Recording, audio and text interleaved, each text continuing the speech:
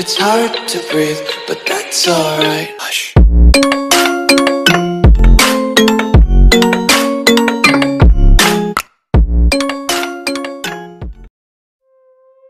Ciao ragazzi, oggi voglio parlarvi di un argomento che tocca un po' tutti quanti. Quando perdiamo una persona cara, stiamo male, soffriamo. E ci chiediamo sempre in questo momento dove possa essere. Ma se questa persona morisse e tornasse indietro e vi raccontasse che nel momento che era morto aveva incontrato tutti gli altri suoi parenti morti da un sacco di tempo voi ci credereste? O pensereste che sono stato frutto della sua immaginazione o un'allucinazione creata dalla sua mente? Questa esperienza viene chiamata NDE. La NDE è una situazione in cui la persona è in pericolo di vita o clinicamente morta. Per alcuni minuti ricordano una serie di impressioni vissute in quel particolare stato di coscienza. Quasi tutte le persone che hanno vissuto questa esperienza dicono di provare una sensazione molto piacevole, dicono anche di aver visto un tunnel di luce e di incontrare i cari defunti. Chi vive un NDE ha la viva impressione di essersi liberato del proprio corpo come se fosse un vecchio cappotto. Secondo un scienziato olandese, anche nel caso di persone con malattie come la demenza e l'Alzheimer, dove la persona viene di fatto molto alterata o cancellata, possono verificarsi questo tipo di fenomeno. Secondo questo scienziato, la coscienza è non locale, il che significa che è ovunque e sempre. Secondo la maggior parte di alcuni uomini e di alcune donne che hanno avuto un NDE, la morte non è altro che l'inizio di un diverso modo di vivere, con una coscienza aumentata e più ampia. Coscienza che è dovunque contemporaneamente perché non è più legata al corpo. Anche i non vedenti hanno esperienze NDE. In base ad alcuni studi risulta che i loro racconti risultano analoghi a quelli dei vedenti e presentano gli stessi elementi sensazione di serenità, mancanza di dolore, senso di separazione dal proprio corpo, attraversamento di un tunnel di luce, incontri con i defunti e anche con figure spirituali. Un caso di NDE, successo a un non vedente, racconta di aver subito un'operazione. L'uomo ha un arresto cardiaco. L'uomo muore, in quello stesso momento non sente più dolore Sente la sua anima staccarsi dal proprio corpo, la sua anima rimane sospesa in aria guardando il suo corpo e i medici che cercano di salvarlo. Ad un certo punto l'uomo sente una voce che gli dice di ritornare e il suo spirito si ricompone col suo corpo. Dopo qualche giorno l'uomo si risveglia vedendo il dottore gli racconta quell'esperienza descrivendo nei minimi particolari tutta la scena quando una persona ha un arresto cardiaco, dopo un paio di minuti il cervello smette di funzionare. Quindi non era normale che questa persona, non vedente, ricordasse tutto quello che gli era accaduto. Anche il dottore rimase scioccato da quello che gli raccontò quest'uomo. Esperienze simili ce ne sono tante.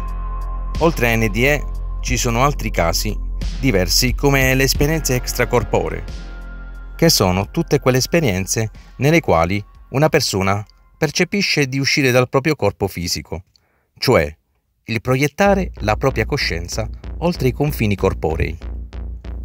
L'esperienza extracorporea può essere spontanea o indotta.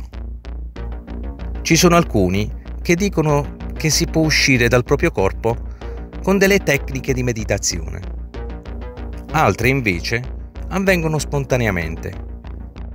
Questo capita in stati di forte stress, uso di droghe e disidratazione. Alcuni hanno tentato di avere questo tipo di esperienze. Però se posso darti un consiglio, cercare di avere questo tipo di esperienze volontariamente potrebbe essere, secondo me, a quanto pericoloso. Quindi io ti sconsiglio di provarci. tra il mondo dei morti e quello dei viventi c'è un filo sottile. Questo lo sanno anche bene gli sciamani. Gli sciamani, per molte popolazioni, sono guaritori e veggenti, visionari, sono coloro che riescono a mettersi in contatto con il mondo degli spiriti. Possono anche lasciare il proprio corpo e volare nel mondo del soprannaturale.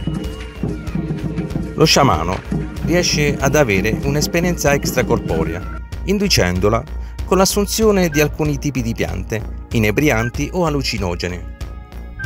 Tutti i casi di esperienze extracorporee o NDE portano a una trasformazione della vita della persona, che perde anche la paura della morte e rafforza la sua sensibilità intuitiva.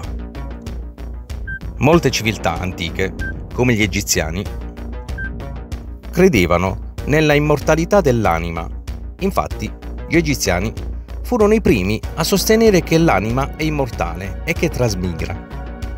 Gli egiziani credevano che l'uomo nasce con due anime, il Ba e il Ka. Il Ba era destinato ad effettuare il viaggio verso l'aldilà, dove riceveva il premio o la punizione che gli spettava. Il Ka era destinato a rimanere con il corpo e a custodirlo nella tomba finché duravano i viveri. Per questo motivo mummificavano i corpi dei faraoni, per permettere al morto di conservare per lungo tempo il corpo nella vita dell'aldilà.